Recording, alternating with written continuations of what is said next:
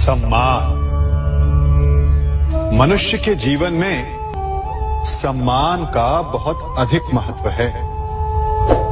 वो उसे अपने हृदय, अपने मन से जोड़कर रखता है। कदाचित इसीलिए हम शत्रु के सम्मान पर चोट पहुंचाते हैं, ताकि उसे पीड़ा पहुंचाई जा सके। परंतु ऐसा करने से सावधान रहे मित्रों। शरीर पर लगी चोट मनुष्य भुला सकता है, परंतु उसके सम्मान को लगी चोट उसे जीवन भर पीड़ा देती है। और स्त्री के मान सम्मान पर लगी चोट उसे उस सीमा तक ले जाती है जहाँ उसे केवल प्रतिशोध दिखाई देता है। यदि अपने शत्रुओं को जीतना है तो प्रेम से जीतिए अपने कर्मों से जीतिए उन्हें अनुभव करवाइए कि उनसे भूल हुई है। किसी के सम्मान को ऐसी चोट ना पहुंचाइए कि वो आपका नाश करने पर उतरा है। स्मरण रखिए किसी का अपमान करके आपके हृदय को कदाचित थोड़ा संतोष आ जाए। परंतु उस अपमान से आप कई हृदयों को आघात पहुंचाते हैं। और अपने लिए एक शत्रु और बढ़ा लेते हैं। हम सब शीघ्र ही सफलता चाहते हैं। ढेर सारी संपत्ति और सुख चाहते हैं। और ऐसे में कई बार हम छोटे मार्गों का चयन कर लेते हैं। वो मार्ग जिनमें परिश्रम नहीं होता, जिनमें होता है तो केवल छल, कुटिलता। और भाग्य का सहारा। जैसे कि जुआ। कोई जुए के खेल में धन लगाता है, कोई दाव लगाता है। और ये भूल जाता है कि जुआ ऐसा दलदल है कि जिसमें एक बार गिरे तो सर्वनाश से पहले निकलना असंभव है।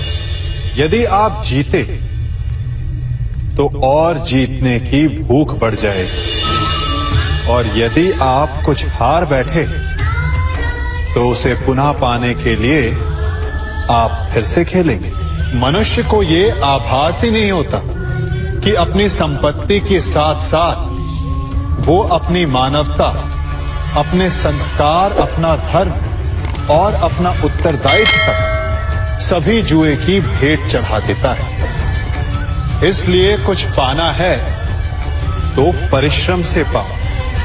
यदि कुछ जुए में जीता तो वो उतना शीघ्र ही खो दोगे, चूँकि उसे परिश्रम से पाया नहीं गया है, और उसकी रक्षा करने के लिए आपके मन में स्वाभाविक प्रयास भी नहीं होंगे।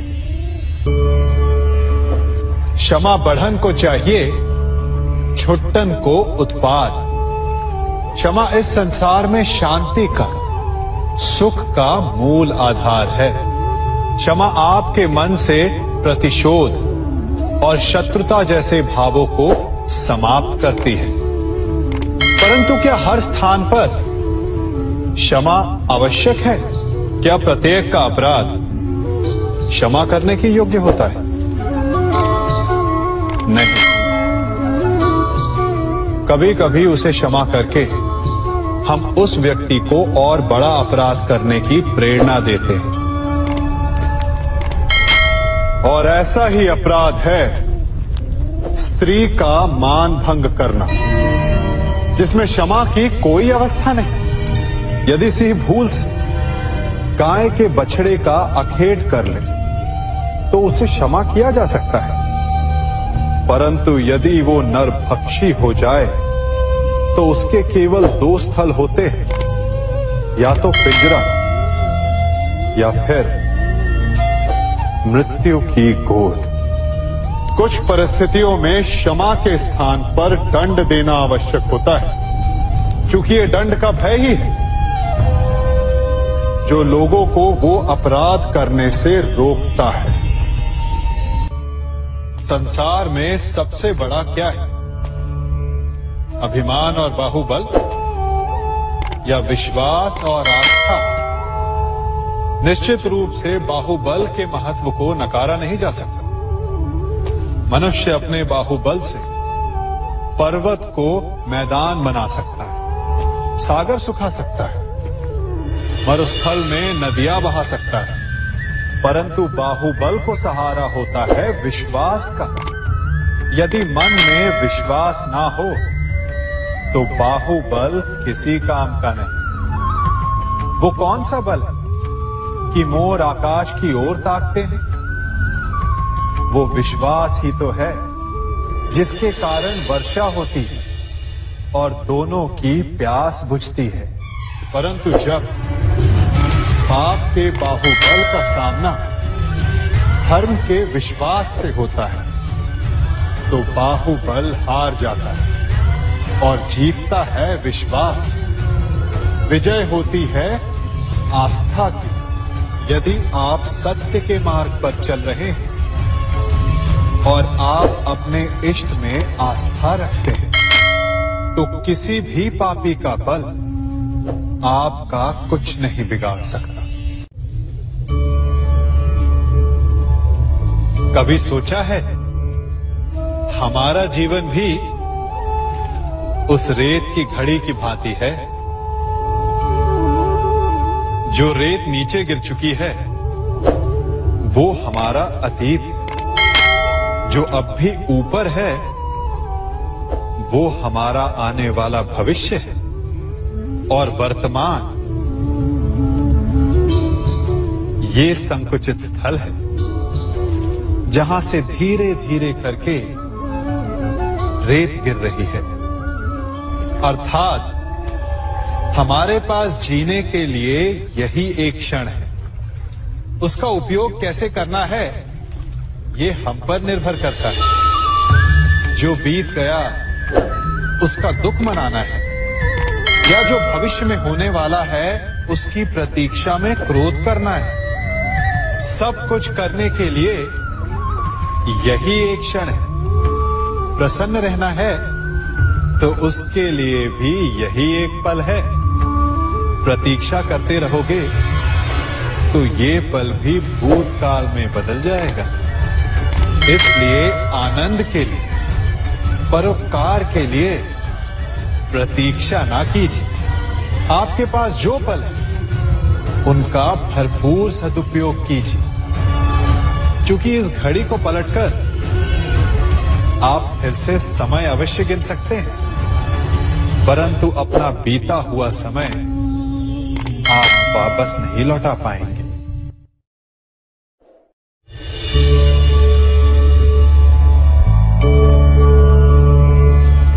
मनुष्य के जीवन में संतान का बहुत महत्व है। उस संतान के लिए वो कितने कष्ट सहता है, उसे पालता है, पोसता है। और यदि यही संतान संताप का कारण बन जाए तो क्या ये उसका दोष है? अधिकतर ये दोष हमारे लालन पालन का होता है। बचपन में बालक के हट को मानकर हमें आनंद की अनुभूति अवश्य होती है। परंतु धीरे धीरे अपने बालक के हट को मानकर उसके हट के दास हो जाते हैं। एक हठी उत्तंड और असंस्कारी संतान उस सूखे वृक्ष के समान होती है कि यदि जिसमें आग लग जाए तो वो सारे वन को भस्म कर डाले और स्मरण रहे, जब उसमें अग्नि लगती है तो सबसे पहले वो स्वयं के घर को ही भस्म करती है। इसलिए जब आवश्यकता हो तो अपनी संतान के हट का विरोध करें, उसे रोके।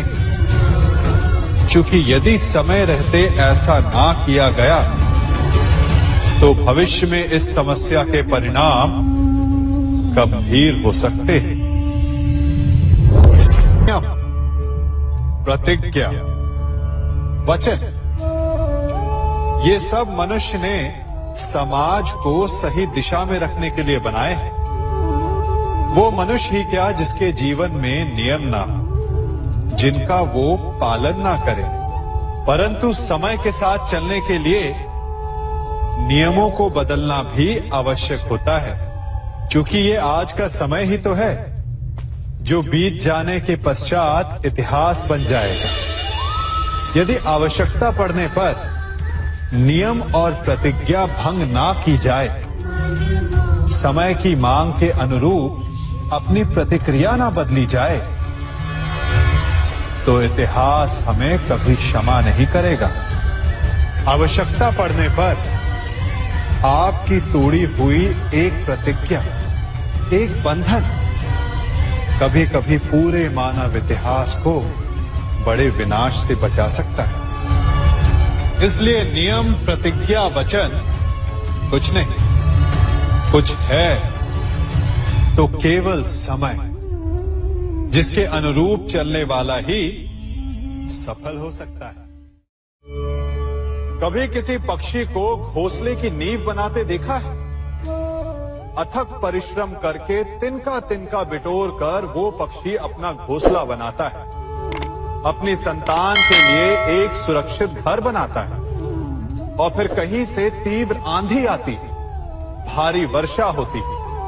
और उसका घोंसला तिनका तिनका करके बिखर जाता है। फिर वो पक्षी क्या करता है?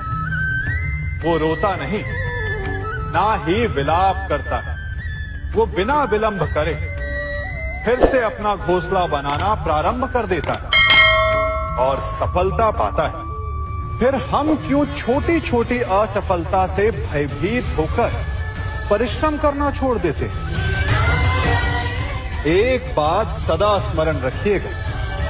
हर वृक्ष कुल्हाड़ी की एक मार से नीचे नहीं गिरता। हर चट्टान घन के एक प्रहार से नहीं टूटती। सफलता पाने के लिए अनावरत परिश्रम करना ही मात्र एक मार्ग है। स्वीकारण। सत्य का स्वीकारण मनुष्य के लिए बहुत ही महत्वपूर्ण है।